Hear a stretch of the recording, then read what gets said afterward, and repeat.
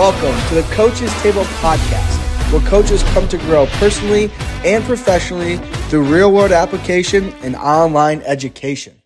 What is going on today? Man, beautiful day, sun is shining, life is good. Um, it's chaotic in college sports right now, which is good and bad, right? I mean, everybody's ramping up um, and ramping down for about a week off or so. So if you're in the college sports world right now, you know that you're getting ready to get a break for about five days, maybe a week at max, and then you're into fall camp. You're into whatever it is you're into. That's both football, that's basketballs. I mean, everybody's getting going. This is also um, such a fun time of the year, man. I mean, August is right around the corner.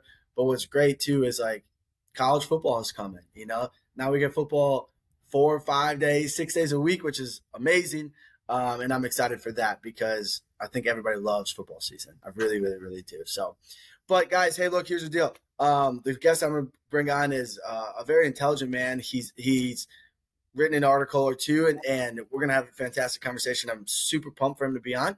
But do us a huge favor, um, share the show. Okay, we're growing rapidly. All, that's my ask for you. We're growing rapidly both on Spotify and on YouTube.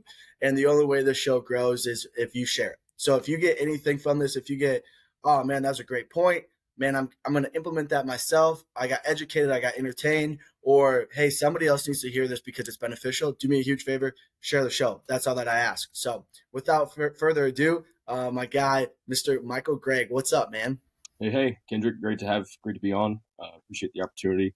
Uh, look forward to chatting for a little bit. So yeah, man, I'm excited, man. Um, you know, you were rec- like I told you before, but you know, you were recommended by several people. Um, and I always love that because it's like there's a common theme, you know, um, and, and I think that's a, a testament to, you know, who you are, what you stand for, how you kind of operate. Not only the people that you work with on a daily basis notice that, but maybe people from afar, maybe people that only had a couple conversations with you and it stuck with them.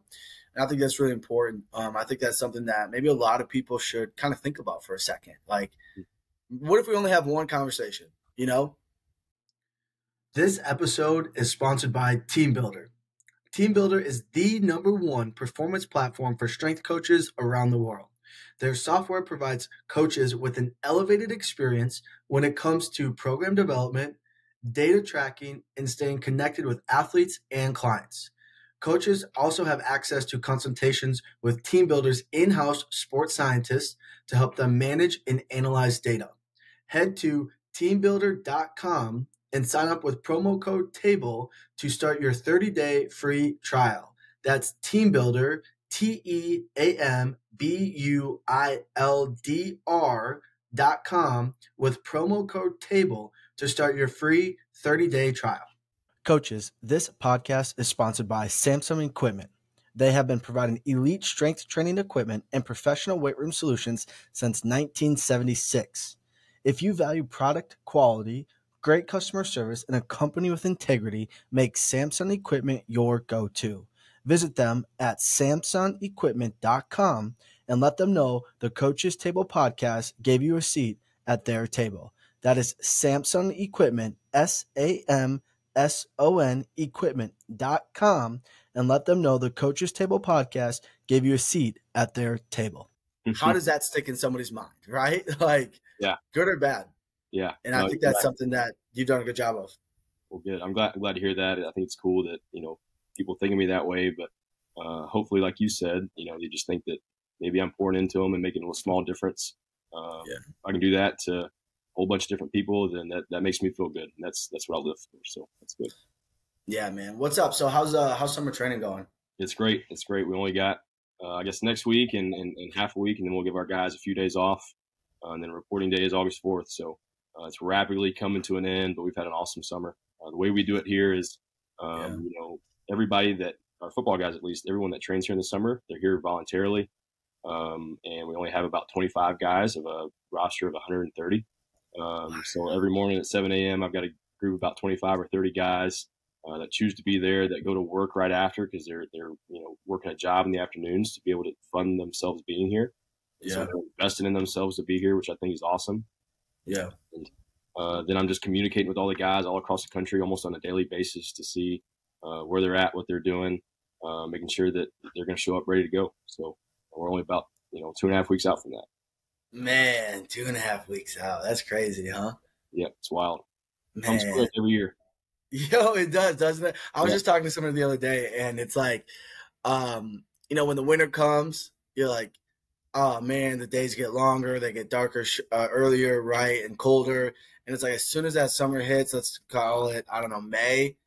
It just seems May, June, July, August just seem to fly, and yeah. you're just like, it's a blink of an eye, and you're like, dude, what the heck happened? Like, yeah. did I even get to like really enjoy my summer, or like what? Exactly right. I looked up and it was June, and looked up again, and it's almost August. So yeah, I mean, like July is. What's up? I'm ready for football season though. That's that's you know I love that. It's coming. How y'all looking this year?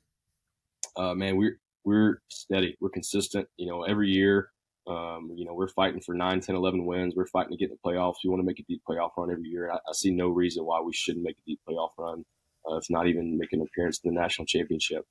Uh, that's yeah. our objective to be in McKinney, Texas, um, in, in December. So, um, heck yeah, we got, we got the dudes. It's just can we align our dudes with you know everything that we need to do to, to get there on a daily basis. So.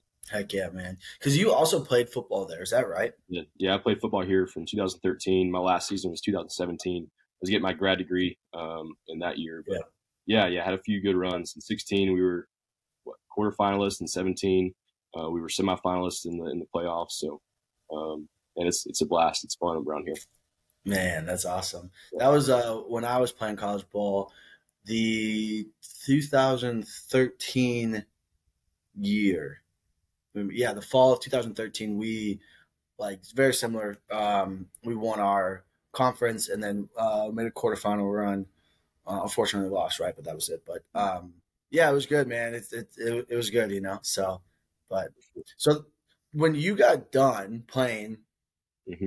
did you just move into a role right away then, or did you go to a couple places and then came back? Yeah, so when I was finished playing in 2017, I'd already put out like a bunch of, you know, applied for a bunch of internships all over the place. Of course. Uh, ended up deciding, uh, these, I guess, January of 2018 um, to go to TCU as an intern. Um, Heck yeah, let's go. Go Frogs, man. I love TCU. Yeah. I love TCU. I to work with all their sports programs. You know, back then everybody was under uh, Don Summer, uh, the head guy at the time. Uh, he had yep. football, uh, so yep. got you know got to work with football and owe, owe a lot to Don Summer, but also got to learn under Zach Dechant over there. Um, yeah, I love Zach. He's such a smart Yeah, without a doubt. Like that, that was an awesome learning experience. Um, you know, fast forward, you know, four months, I ended up, you know, getting offered to be a GA there. Um, so stick around through the summer, and I'm a GA there for a year. Um, and then I guess that, you know, from July to, to July, I'm a GA, and then ended up getting a call to go to Northern Arizona to take over their men and women's basketball programs as an assistant. Yeah. working football there. Uh, owe a lot to Sam Lackey and Jake Bueller yep. um, to, to help me out, get my feet uh, running with, with men and women's basketball up there. Um, and I was there, you know, through COVID. And then I got a call, um, you know, kind of the fall of 2020. Um, Division two didn't have a season uh, in the fall or the spring. Uh, mm-hmm. Got a call from our head coach uh, head football coach asking if I would be interested. Uh, then I get a call from uh, somebody on the academic side that you know explains that they're starting a master's program in strength and conditioning. Uh, and Harding had never had a strength and conditioning coach before. Uh, they had had you know strength coaches that had worked with teams individually, but nobody that was ever like over all the sports. Sure. So they were creating a role uh, that would obviously work closely with football and, and all in every sport, but to oversee um, you know, just like a regular head strength coach role. And uh, also kind of be a mentor to uh, individuals in the Masters of uh, Strength Conditioning program that yeah starting. So uh, ended up accepting that role. Came in in the uh, spring of 21, and the Masters program started the fall of 21, and uh, we've been rolling ever since. So man, man, that's crazy. First of all, TCU is beautiful. I love it. Fort Worth is amazing. Um, wish I never moved out of there and could move back there. I love that area. And then Northern Arizona too, man. That that's Flagstaff, right? Yes, it's Flagstaff. Yeah, it's beautiful. Oh, it's beautiful. Mm-hmm. Beautiful there, man. That's and the facilities there are fantastic. Yeah, so I was I was there uh, you know, right as we were kind of designing that that weight room. Uh, yeah. So so me and Sam Lackey and Jake Bueller all kind of put our our two cents in and then uh, I ended up leaving you know, right as you know, kind of the, all the beams and, and, construction was starting. Uh, that's, that's so I got to see, um, I got to see the end result of it. It looks awesome. It's beautiful. Man, that's awesome. That's awesome. So, okay, so then you you get to Harding, mm-hmm. you know, in the spring, get you you know get settled in, right? Go through the summer, and then you know the fall comes and the Masters program starts. Mm-hmm. Um, kind of walk us through because I think well, one because the article that you wrote it kind of talks a lot, a little bit about this, right? The process of it. So you've been there for three years now. So let's go back to you know year one or, or year zero, however people want to call it, whatever.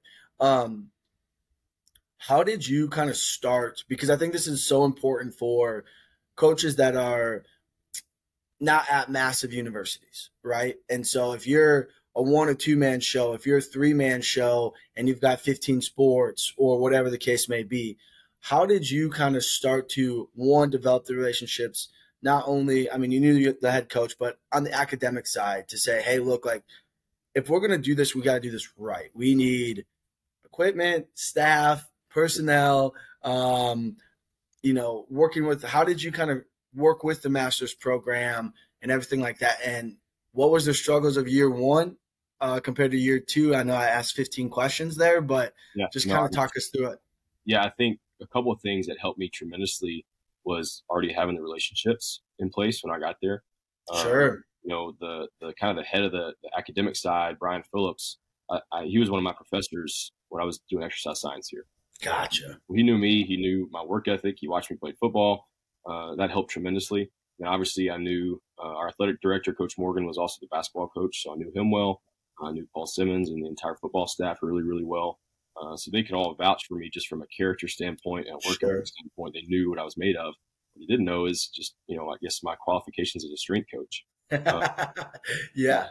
And I also think we were fortunate to have the facilities that we have. You know, uh, mm. that was something that I didn't have to fret over too much when I first got here. You know, our football has their own uh, facility. Uh, and we've got three other weight rooms that service the rest of our, our athletics teams. Um, and so really it was my issue with facilities was I couldn't be in two or three places at the same time, you know, so yeah. football wanted to train, uh, you know, in the afternoon. Um, and I also was working with softball at the time, had to just, you know, make sure that one finished and I could get, be at another place right after sure. scheduling issues, I guess. Uh, so that first spring that I was here, it was just me. Uh, and, and, coming in, what I, I said, like, hey, I, I, need some somebody or you know with me. And so the, original plan was to have like a part time part time assistant uh, hired, you know, within the first year. Sure. Well, I started kind of running the numbers and realized like, well, that that's just me and one other person for 400 student athlete. That's going to be tough um, with all the facilities. yeah.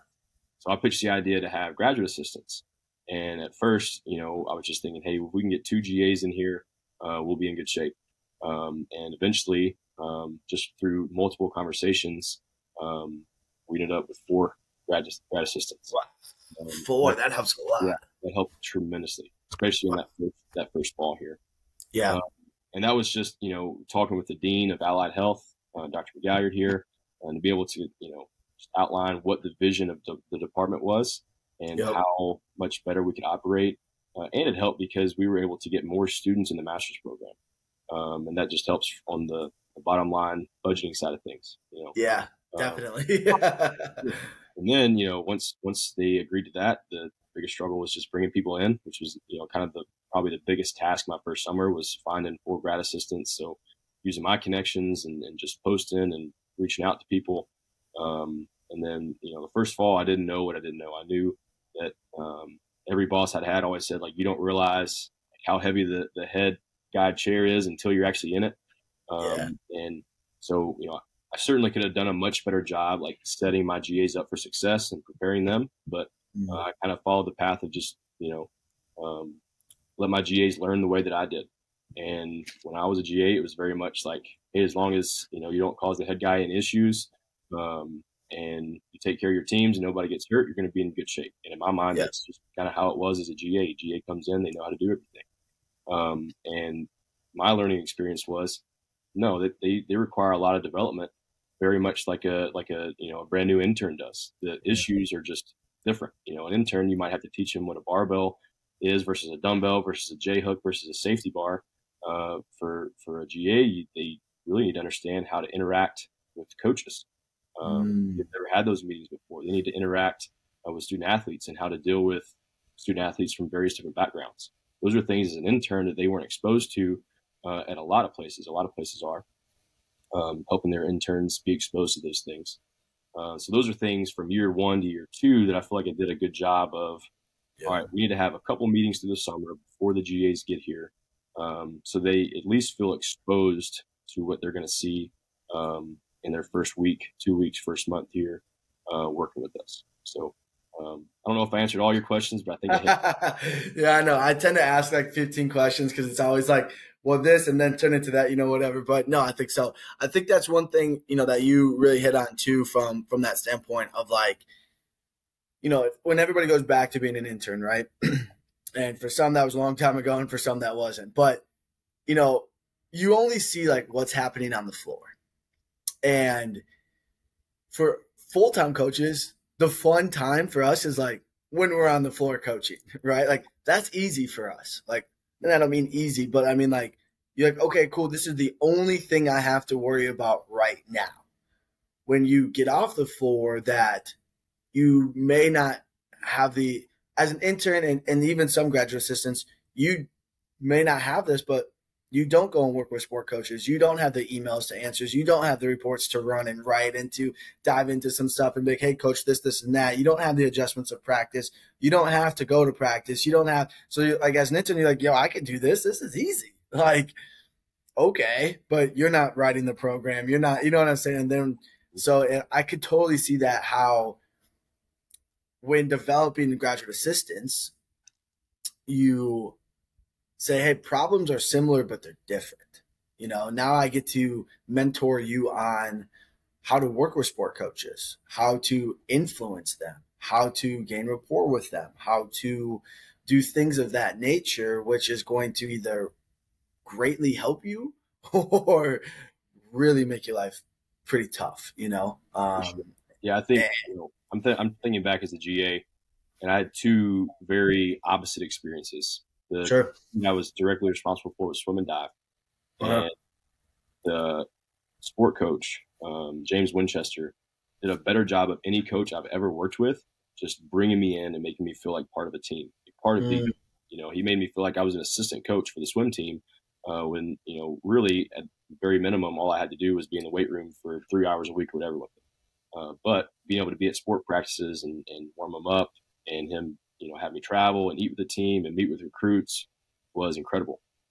My other team was track and field, and you know, I, my biggest headache was, you know, the players or the, the the sprinters will come in the afternoon and they'll say, "Hey, that said this, this, that, and this," and you know, I'd hear just nothing from the athletic trainer for weeks yeah. at a time. Yeah. As a GA, I was pointing fingers and like, why isn't this guy? He, he never communicates. He never tells me anything and I don't, I don't remember who I learned it from, but it basically is a huge realization in my eyes that like, hey, if I ever, uh, ex- you know, I should never expect somebody to communicate to me. I should always be the one seeking the information, you know. Mm-hmm. So I mm. made it a habit from then on. Like, if I'm not going to see him at practice, if you know he's not going to come in the weight room, then I'm going to go and and visit with athletic trainer. Um, or you know, if a player says like, hey, you know, I hurt my hamstring today. This is what so and so said. Then I'm at least going to send him a text so that we're on the same page. Or I'm going to call him immediately just just to make sure that I'm the one doing the communicating. Um, yeah, and that's yeah. something that has been incredibly important uh, for us here at Harding, especially something I've tried to instill in the GAs is you've got to be the one communicating. If you ever find yourself frustrated because you don't have the information that you think you needed, it's 100% on you. It has nothing to do with them. Um, and I think we've had a lot of success with that over the last two years. I think that's a huge point for people, if you're listening, go back, re listen to that because I think that's a huge point and then soak it in because our position as strength coaches, right, is we're a support role. We know that, we recognize that. But we work obviously directly with head coaches, ATs, assistant coaches, players. So I kind of look at it as like you're kind of in the middle and you're communicating with everybody and that doesn't mean everybody's communicating with you. And so it is your job, like you're saying, to go out and ask because you can never be faulted if you make the effort. You know, if you're like, hey, just want to check up on this. Hey, I just want to, hey, you know, whatever the case may be. Um, and it shows people you care. You know, I think that's a huge, it like shows people that you care and people can see that too. For sure. You know, um, so now that you have GAs and, and we kind of talked about this a little bit offline, but you have GAs, you know, it's a one year program for them, um, which a lot of masters are like that. Some are two year programs. As as each year comes, what are some common trends you're seeing, whether it's with the quality of coaches or common problems that are, man, every year I have to go through this again and again and again, and kind of how have you looked to overcome them? Yeah, I think just the I, have thought about this often actually, and I've been able to interview quite a few young strength coaches. Sure. Um, and there is a lot of young, bright. And I say young. I mean they're only like five or six years younger than me. That's not that big of a difference. Incoming strength coaches uh, yeah. that can really communicate really well in interviews, um, and they do a great job. Uh, and as they deserve, they end up getting a good grad assistant position because they'll turn me down and they'll go somewhere yeah. bigger. Um, sure. That's that's been the one thing that I've been super impressed with. So it seems like mm-hmm. there's a lot of you know really good uh, internships out there.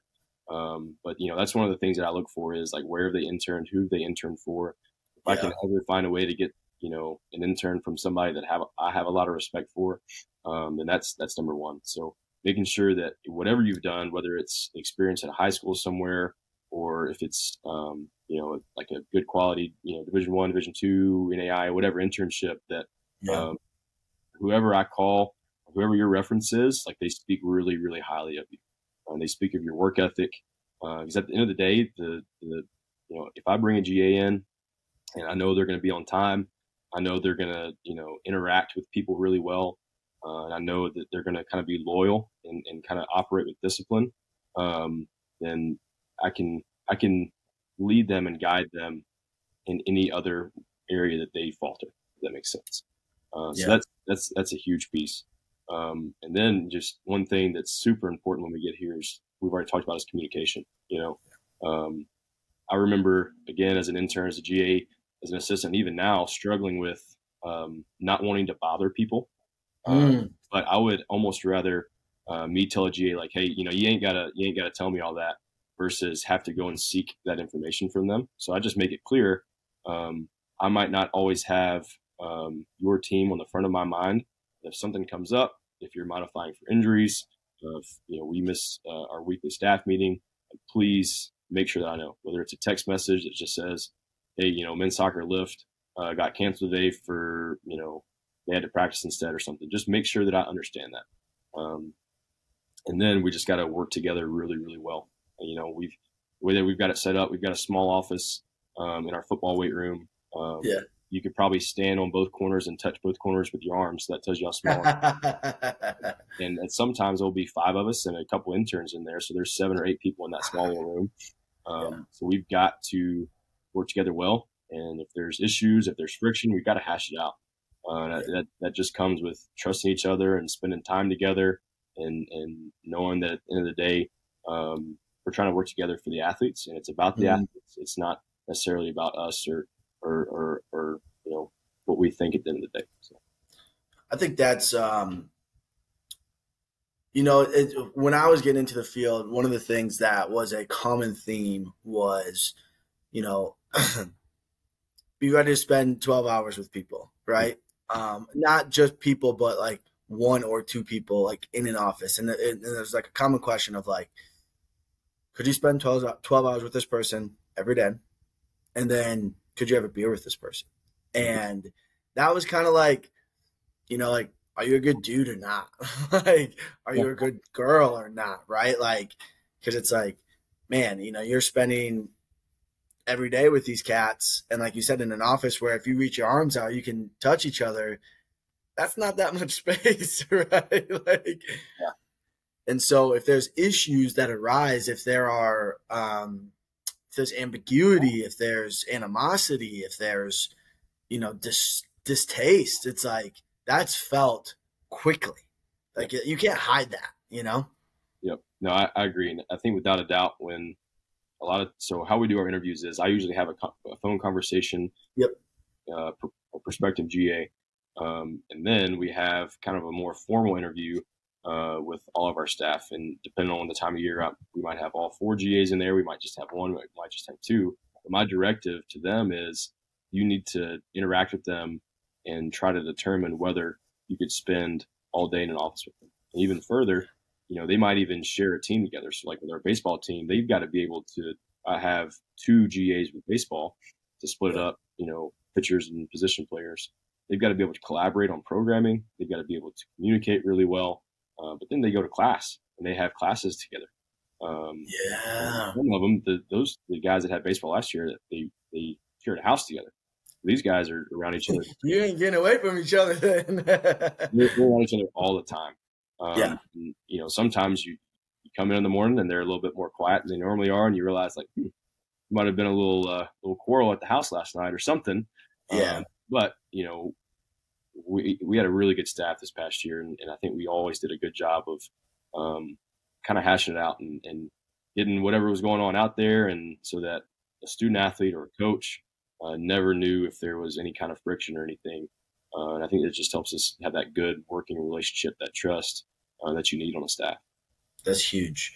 That's huge. Yeah. I mean, that's, I think a lot of people's reality when it comes to kind of in that intern ish GA role of like, yeah, I'm probably going to live with this person too. And, you know, it's just, it is what it is. So, okay. So with all the teams you have with, with GAs, with everything going on, I'm curious of how do you focus on your programming with four weight rooms with you know sometimes football only or, or, or multiple teams how does that kind of look for y'all um, and, what are your thoughts on that? I mean, I, I, think everybody loves to like keep it simple, right? But you know, what have you noticed with everything kind of spread out, if you will, um, that allows for things that you want to do or don't want to do?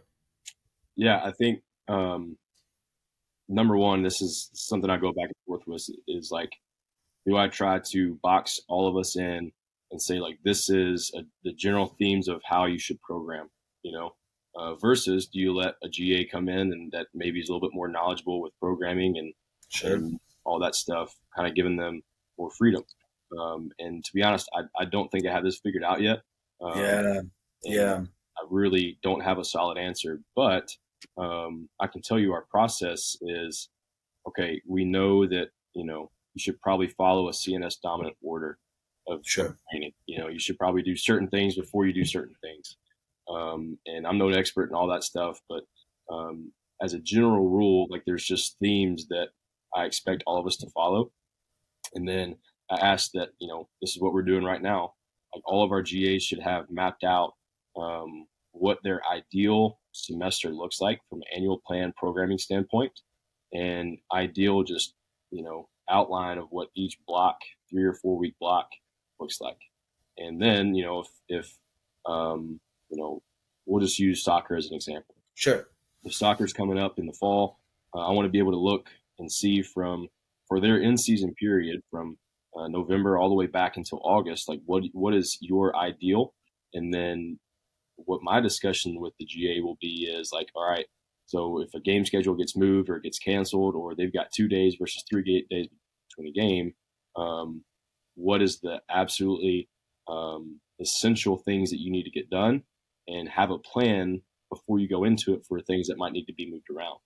Or instead of spending two days, 45 minutes in the weight room, can you um, get half of that done in a pre practice warm up at the plyos? Can you bring some medicine balls out there and do some medicine ball throws uh, for power development instead of doing cleans or trap bar jumps or something like that?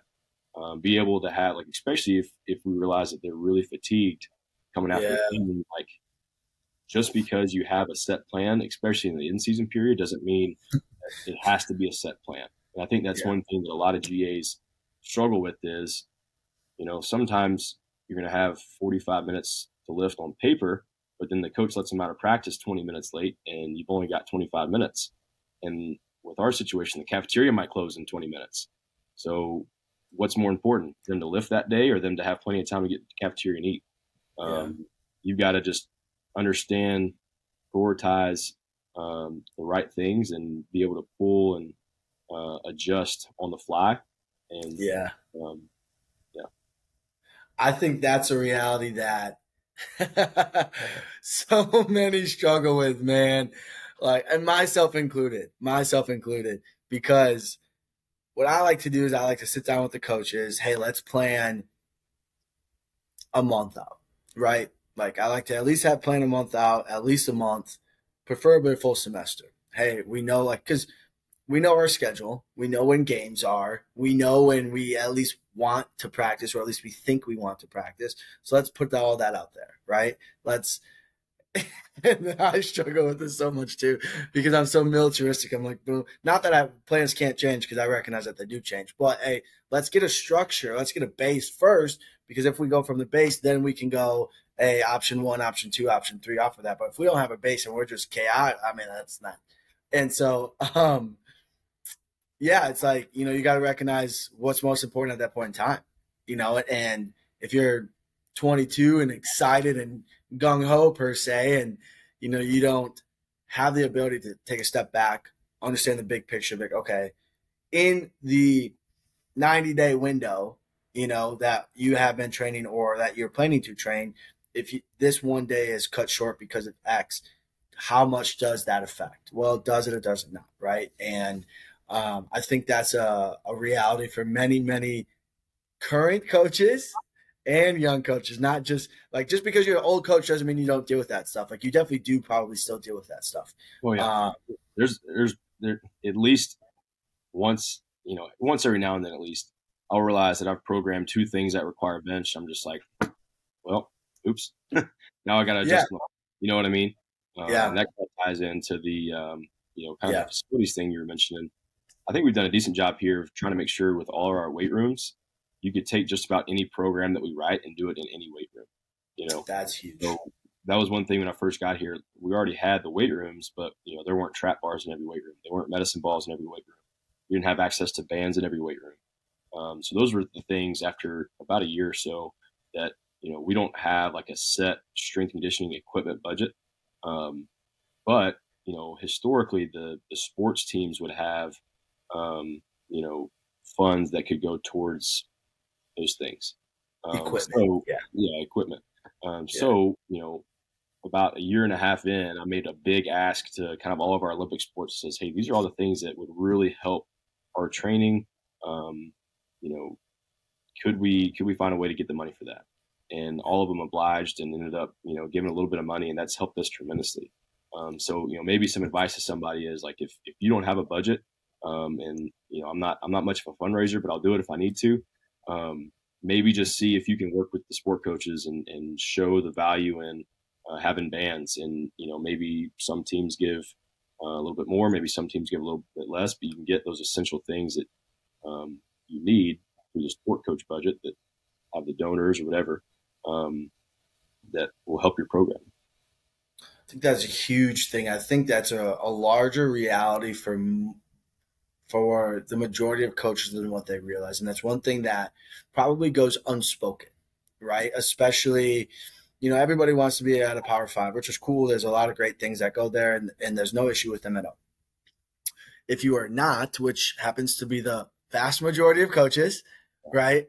one of the things that becomes a real um, constraint, if you will, is financial dollars um, and then another thing that becomes very apparent is as a strength coach or the department head or whoever, you are the limelight of like starting the fundraising component of it and getting out into the community, speaking with the sport coaches, communicating with people like, here's what we need, here's why we need it, here's why it's important, here's how much it's going to cost, right? Because you and I both know like the stuff that we have, whether it's the top of the line or just what you need to get by, isn't cheap, right?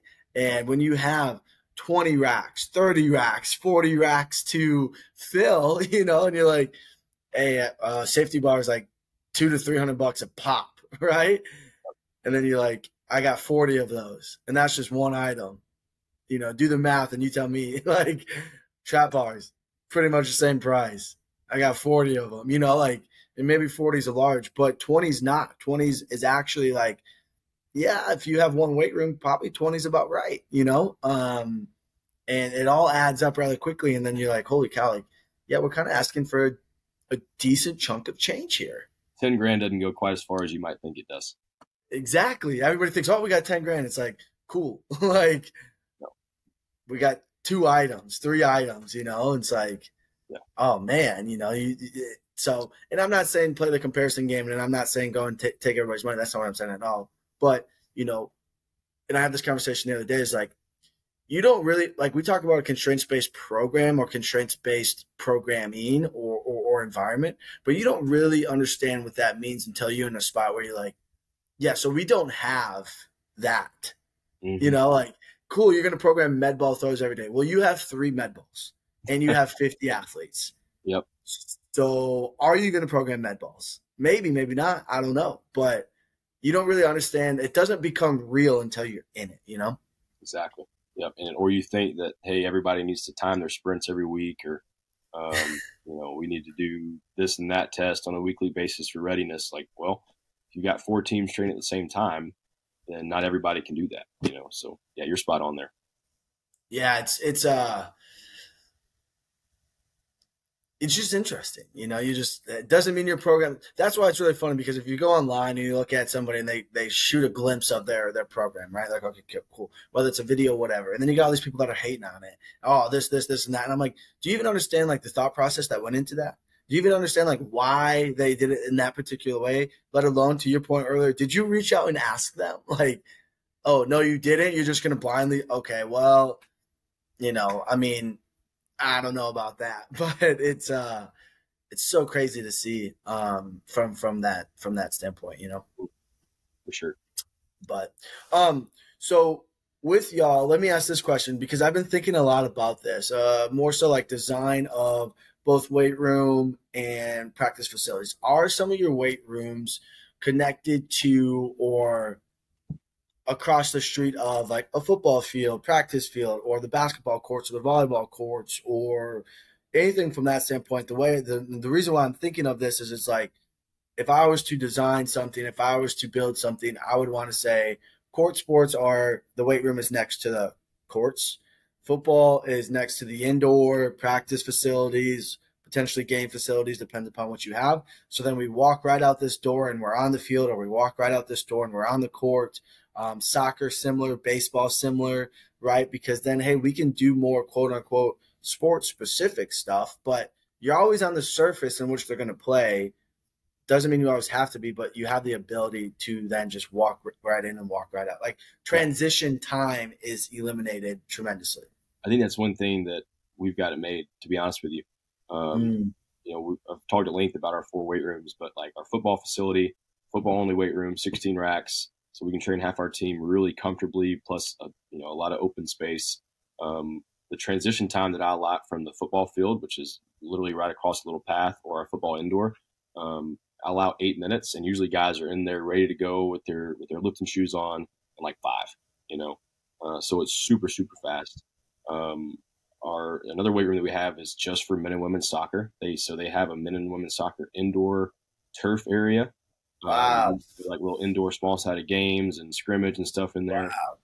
Wow. Um, and you go through behind the goalie net of one of those, and there's a six rack weight room right there. Um, so there are these double doors that we can open up, and we'll do all of our plyos, all of our jumps, yep. of just yep. um, you know locomotion exercises on the turf, and they can uh, hustle in the weight room and do anything they need to do at the racks or with their dumbbells or anything like that.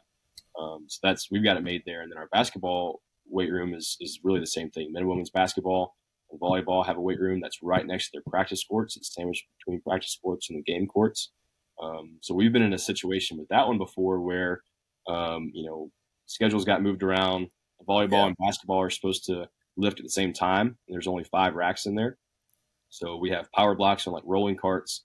We rolled the power blocks out. We rolled the benches out, and volleyball trained out on the basketball court while basketball was able to do everything they need to do at the barbells. Um, each spent about 15 minutes, and they switched.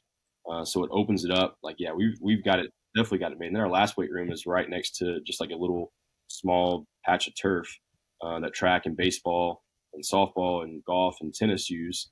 Um, so if we're doing sprint stuff or warming up, we can hustle in and out of the weight room really fast. So uh, that's never been an issue. Um, it's actually been probably one of the most convenient things that we take for granted around here.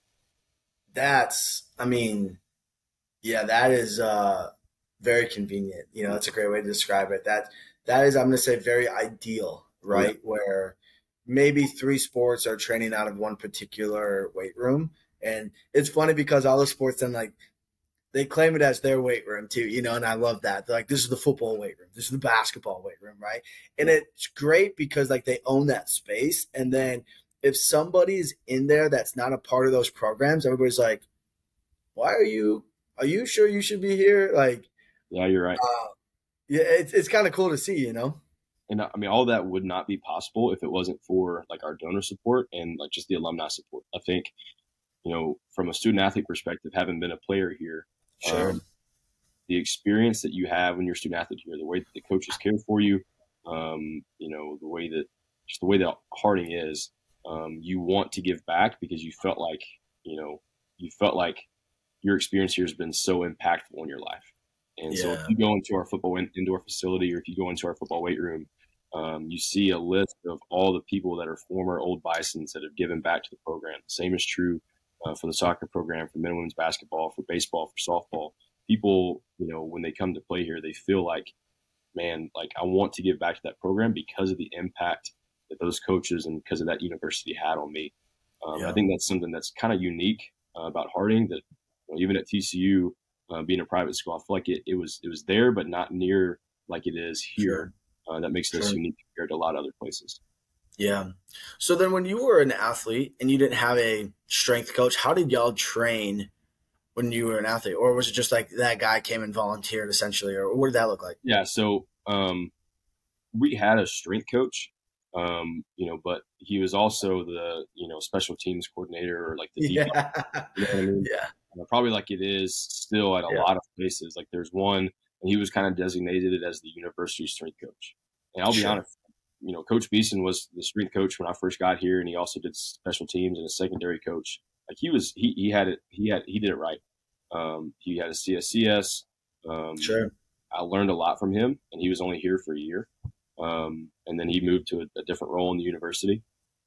Um, but you know, really on that, like I had, I think three different, three different strength coaches in my time, uh, in my four and a half years playing here.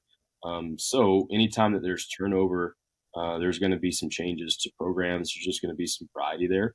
And so probably the biggest thing was just I, I never felt like I was on a consistent um, progressive program for my entire playing career. You know, it would be one thing for a year and a half, another thing for a year and a half, and then uh, yeah, last strength coach was was Coach Moat, who's still here as the defensive coordinator, uh, and he I mean, he had a fantastic program.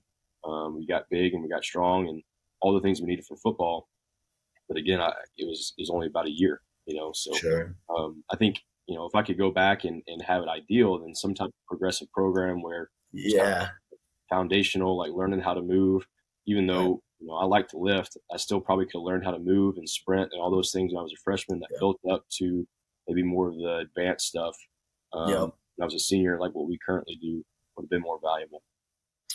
And so, okay, taking that, um, because I think that's a reality a lot of places. There's, you know, coaches tend to bounce around for a multitude of reasons, you know, a year or two or, or three years at max and they bounce, right?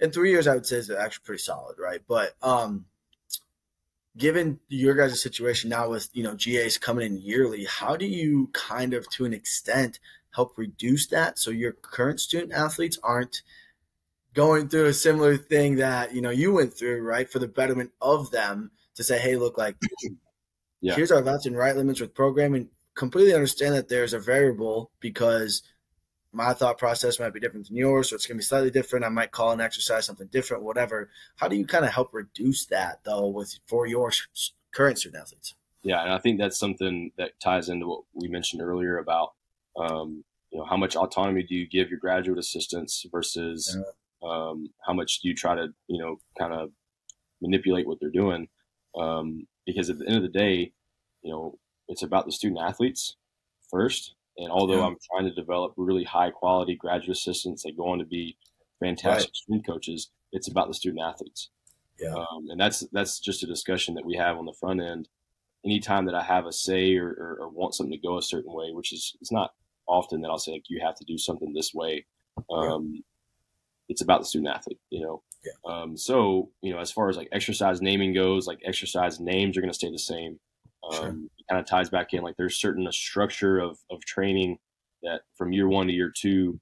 Um, by and large, you're going to do the the fast, explosive stuff first. You're going to do the string stuff next. You're going to do the hypertrophy size stuff next. There's going to be some times where you get outside of that. Um, we're going to you know, conditions similarly, we're not going to do anything that uh, not safe. Um, yeah. The list goes yeah. on and on. You know what yeah, I mean? Yeah, yeah, And then the other thing that you got to consider is, you know, probably more than half of our student athletes go home for the summer and do nothing. And do know? nothing. Yeah, and, I mean, in and we've got TeamBuildr, and so you can see when the last time somebody logged on was. And I went and looked, and like, there's some students that haven't even been on since like February you know, and and because like they had a, a you know their season or whatever.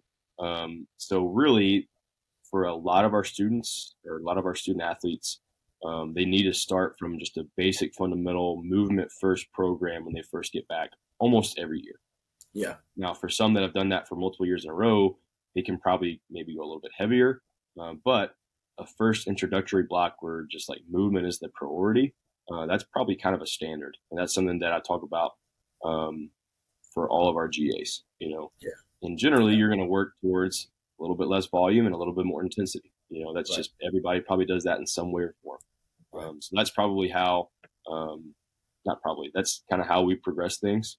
Yeah. Yeah. Um, and then, you know, when we get into the season, all of our sports seasons, they end up being so hectic that um, they've got to be adaptable. So they just have to have a certain template uh, and you try to follow the template the best you can. But you know they've got to understand that you need to be flexible. With like you know some days you're not going to have time to do your five sets of three on squats. You might need to adjust, and instead of it being a front squat at 75, 80 percent, maybe you've got to adjust and do just goblet squats for the day because it ends up being the day before after a game or what or yeah. What, you know what I mean? Yeah. That was like me the other day. We were uh, we were squatting and, and I was um, not our movement competency and quality was not to where it needed to be. And so I had like front squat. This was a couple weeks ago, but I had like front squats for the the next couple of weeks because that was kind of my my progression, right? And I was like, scrap that. No, no more front squats. We're going all goblet squats again because I was just like, I don't even care about weight. I don't care about any of that. I literally care about movement competency and hitting the range of motion that we should be hitting and, you know, then we took a step back to go forward, but we then did goblet squats for the next three weeks and we went heavier and, you know, all that stuff. But I was like, hey, look, like, if you can't hit the ranges of motions, I don't care to load you, you know, because what am I doing then? You know, like, cool, boosting my ego, potentially causing an injury. Like, that's just not smart. So, Yep. Yeah, I mean, I just just completely scrapped this. And we're not even going to barbell. No, you know, I figured I'd say, hey, let's try it. I want to see where they're at. And I'm like, nope, we're not doing that.